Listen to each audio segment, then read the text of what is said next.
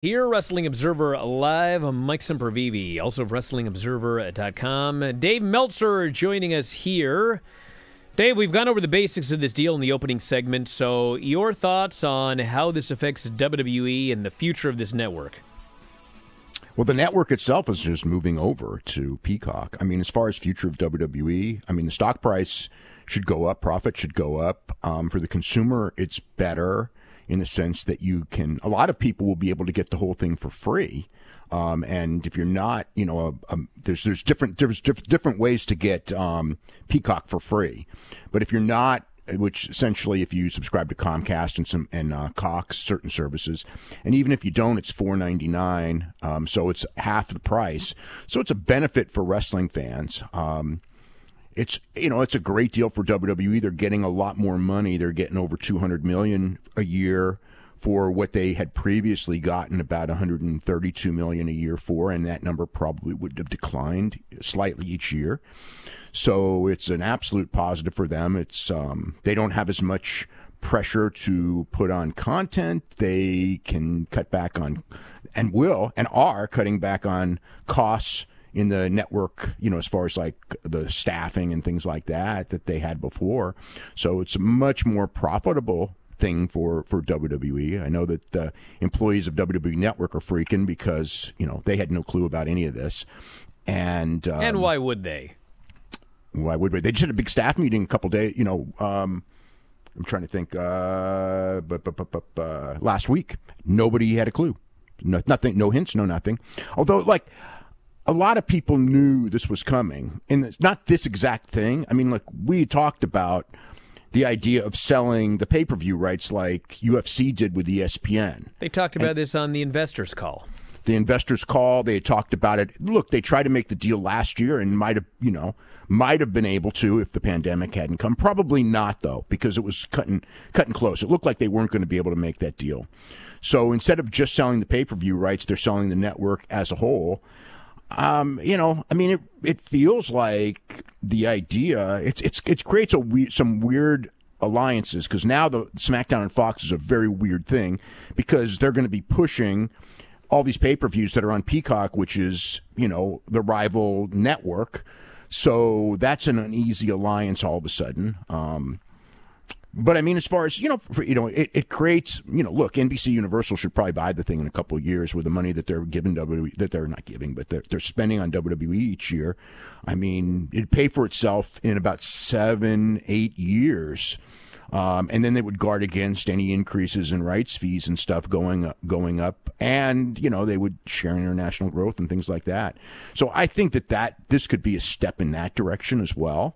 Uh, you know, Vince can get, you know, Vince would be able to get, and I'm, I'm talking about at, at a $6 million price, not a $4 billion price. At a $6 billion price, all the money they're spending, you know, they could make up it for that in like eight years. So it's really worth it to them at this point to buy this thing.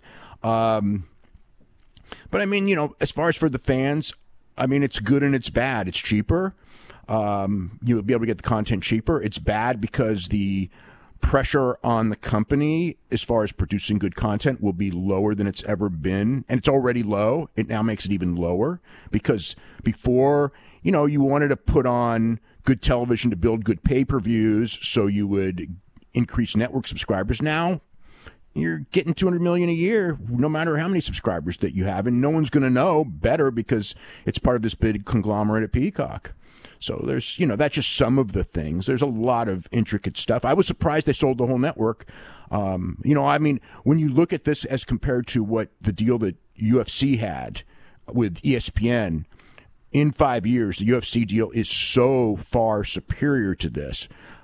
Um, but for fans uh, this deal is much better because you don't have to pay for pay per views. With UFC, you still have to pay for pay per views, but the value of the pay per views now is astronomical. When UFC's deal with, with ESPN is over in five years, unless UFC collapses in five years, which I don't expect to happen, um, that next deal for pay per views is going to be, you know, probably every bit of double the the first deal. And for for WWE, when this five years is up, I don't anticipate the next deal for WWE to be double because number one, it's going to be a hassle getting everything off of Peacock um, and back to, to you know back in house um, or to another network.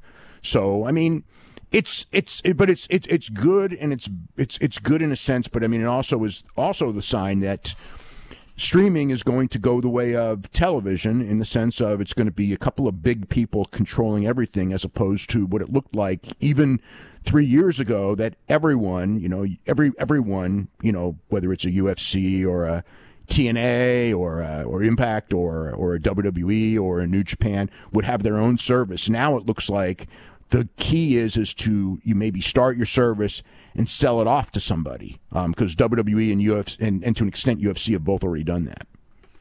Yes, Mike. Well, David, it seems to be that you know Barrios and Wilson, obviously their plans and what they had intended for the network is different than what WWE's vision became.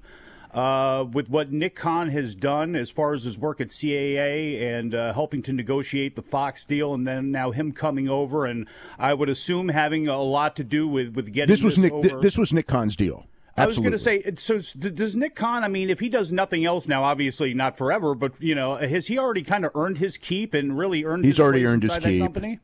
Nick Khan's already earned his keep with this one deal alone. Yeah, absolutely, absolutely. And It's- he he's really valuable because he's got he's really smart. And then it's not knocking Barrios and Wilson, but he had so many more sports connections and entertainment connections as well than they did.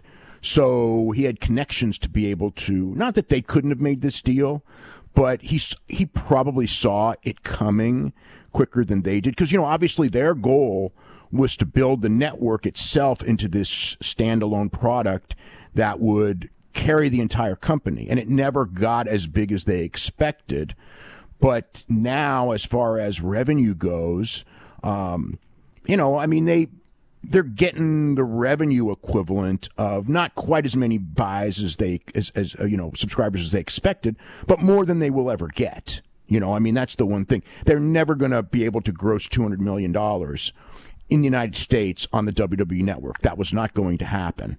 Um, and you know, they are now getting that and it's guaranteed. You know, product goes down, interest goes down, guaranteed. They also have NBC even more you know, like well, we were just the other, you know, this week we were talking about, you know, you know, they don't have the, the the leverage with NBC, and that may hurt NXT on Wednesdays because you know of the NHL now. Now, um, it's not so much they have the leverage on NBC. NBC's got the leverage on them, but NBC's going to want to do everything for WWE because of a more important property to them. It's not just Raw and we'll take NXT. It's um, Raw and this very important component of Peacock, which they're looking at as their future. It also creates a situation very like talking about earlier. So the SmackDown situation gets very interesting. Will Fox want it? Will NBC NBC you would think would want to get it back badly. That may lead to an increase if Fox still wants it. That may lead to an increase in, for for SmackDown, no matter what the ratings are, just because you got multiple bidders all of a sudden, and and with NBC they're going to want the whole thing. You know, at probably at prelude to an attempt to buy the whole thing, because once they own, you know, if they have Raw, they have SmackDown, and they now would have the network, they might as well just buy the whole thing.